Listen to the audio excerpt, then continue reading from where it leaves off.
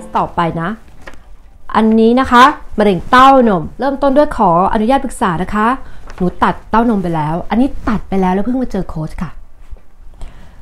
ตัดไปเมื่อเดือนสิงหา แล้วก็มาเจอโค้ชแต่ว่าไม่อยากไปทำคีโมค่ะ ตอนนั้นนะคะยังลังเลทำไม่ทำหมอบอกว่าไม่ทำไม่ได้ อันนี้หมอบอกอย่างทุกคนนะคะ ทีนี้โค้ชไม่เคยตัดสินใจให้ใครนะคะ คุณตัดสินใจเอง คุณต้องดู case by case บางเคสเนี่ยทำคีโมอาจจะ work แล้วคุณไม่เป็นอะไรเลยก็ได้ แล้วก็อยู่มาได้ 10-20 ปีนะคะ ทีนี้คุณต้องดูว่าคุณเป็นระยะไหน แล้วใจของคุณอะเป็นยังไง คุณคิดว่าคุณสามารถ take care ตัวเองได้ ใจของคุณพร้อมไหม ที่จะบำบัดด้วยธรรมชาติ แล้วก็รับผิดชอบชีวิตตัวเอง คนนี้นะคะโค้ชก็บอกว่า มาเรียนก่อนดีไหม แล้วคุณค่อยตัดสินใจ ถ้าคุณยังไม่แน่ใจอย่าให้หมอเร่งคุณนะคะ คุณคิดดูดีๆ ศึกษาหาความรู้ดีๆก่อน เพราะว่าการที่ให้หมอรอสองอาทิตย์เดือนหนึ่งเนี่ยมันไม่ได้แตกต่างกันเลยค่ะ คุณเป็นมาไม่รู้กี่ปีแล้วอะคุณตัดสินใจให้ได้ก่อนเพราะว่าตัดแล้วตัดเลย แต่เคสนี้นะคะเขาตัดไปแล้ว แล้วเขาก็มาเจอโค้ชเสร็จแล้วก็ประมาณแล้วก็เข้าคอร์สของโค้ชมาได้ 6 สัปดาห์นะคะ แล้วก็ทานวิตามินของเกลือสารเป็นชุดใหญ่เลย วันที่ 13 ตุลาเร็วๆนี้เองค่ะ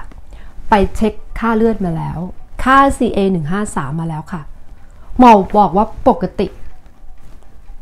แล้วหมอนัดอีกทีนู่นค่ะ เดือนธันวา ขอแสดงความดีใจด้วยนะคะะแต่ว่าคนนี้นะคะ เขาทานน้ำผักวันละ 13 แก้วเลยค่ะ อันนี้เขาทำตามตารางเลย ก็คนที่อยากเรียนนะคะ เขาทำกันยังไง น้ำผักสูตรยังไง ดีท็อกซ์ยังไง ดูแลใจตัวเองแบบไหนทำยังไง ให้เลิกกลัวมะเร็งใครยังไม่ได้เรียนก็มาเรียน ใครเรียนแล้วดูวิดีโอไม่หมดดูซ้ำหลาย ๆ รอบนะคะสองท่านนี้หายจากมะเร็งได้โดยที่ไม่ได้รับยาคีโมมันเป็นไปได้ค่ะ แล้วก็มีจริง เพราะฉะนั้นใครที่กำลังลังเลอยู่ รที่มีเพื่อนรู้ว่ากำลังเป็นมะเร็งแล้วเพิ่งรู้ตัวเนี่ยไม่รู้จะทำยังไง ส่งวิดีโอนี้ไปให้เขาด้วยค่ะ แชร์ให้เขาด้วย เพราะว่าการรับคีโม ไม่ใช่ว่าอาจจะเหมาะกับคุณ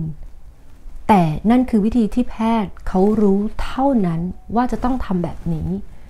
คุณควรเป็นคนตัดสินใจเองนะคะทำยังไงจะตัดสินใจได้ คุณจะต้องมีความรู้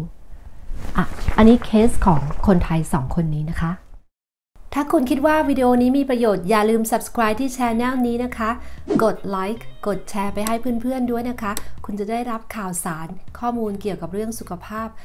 จากนักวิจัยชั้นนำทั่วโลกนำเสนอโดยโคชนาธรีจากอเมริกาค่ะ วันนี้ขอลาไปก่อน สวัสดีค่ะ